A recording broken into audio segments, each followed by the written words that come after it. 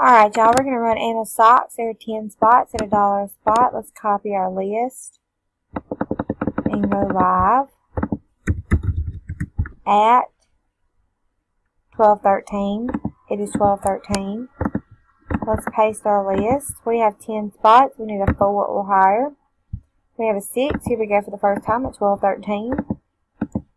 After the first time, there are 10 items on the list. Lisa's on top. Lisa's also on bottom. Dice calls for a 6. So here we go at 12, 13. It's 2, 3, 4, 5. After the fifth time, there are 10 items on the list. Naomi's on top. Deborah's on bottom. The dice, 5 and 1, call for a 6. Here we go for the last time at 12, 13. Good luck, y'all. Alright, after the last time, spot number 7, Miss Deborah Walker. You are the winner. Congratulations.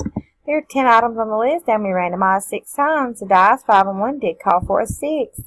We are done at 1213. 1213 rolling to 1214. Congratulations to spot number 7, Miss Deborah Walker.